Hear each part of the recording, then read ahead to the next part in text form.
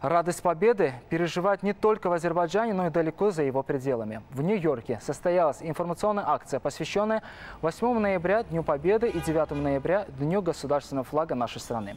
Мероприятие прошло на знаменитой городской Таймс-сквер. На одном из находящихся на площади зданий в течение часа демонстрировался билборд в цветах азербайджанского флага. Информационная акция продлится всю неделю. Мероприятие транслировалось в первом эфире через страницу New York Times, Square на Facebook, насчитывающую более 300 тысяч подписчиков.